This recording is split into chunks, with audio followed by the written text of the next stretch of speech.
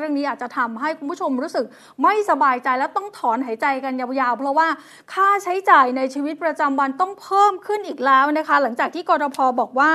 วันนี้จะเริ่มปรับขึ้นค่าทางด่วนพิเศษสีรัฐวงแหวนรอบนอกกรุงเทพนะคะ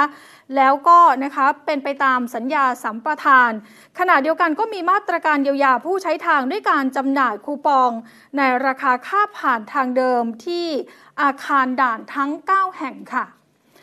ตั้งแต่วันนี้แล้วเนี่ยนะคะ 15 ธันวาคมเป็นต้นไปค่ะ ทางพิเศษสายสีรัฐวงแหวนรอบนอกกรุงเทพก็จะเริ่มปรับขึ้นราคาหลังจากที่ครบ 5 ปีตามสัญญาสัมปทาน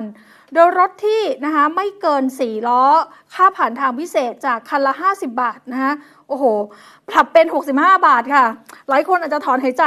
ถอนแล้วถอนอีกแต่ทำยังไงได้คะ แล้วก็รถที่เกิน 4 ล้อนะแต่ไม่เกิน 10 ล้อค่ะ ค่าผ่านทางพิเศษจาก 80 โอ้โห กระโดดเป็น 105 บาทนะคะทำใจกันหน่อยค่ะ แล้วก็รถที่เกิน 10 ล้อ จาก 115 บาทเป็น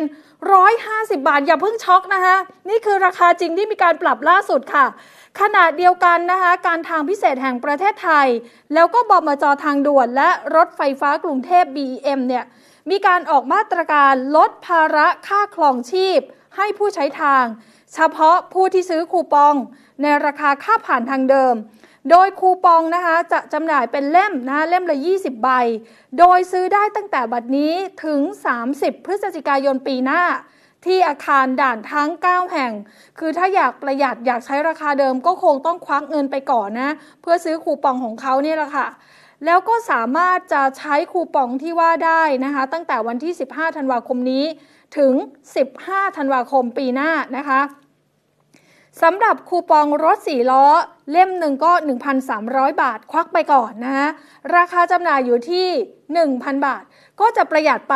300 บาทช่วงนี้อะไรประหยัดได้ประหยัดนะคะคูปองสำหรับรถ 6-10 ล้อ เล่มละ 2,100 บาทนะคะราคาจำหน่ายนั้นก็อยู่ที่ 1,600 บาท ประหยัดไปได้ถึง 500 บาทนะคูปองสำหรับรถมากกว่า 10 ล้อ เล่มละ 3,000 บาท ราคาจำหน่ายอยู่ที่ 2,300 บาท ประหยัดไปได้ 700 ค่ะ เอาละใครมีเงินควักไปก่อนนะคะ ถ้าอยากประหยัดเงิน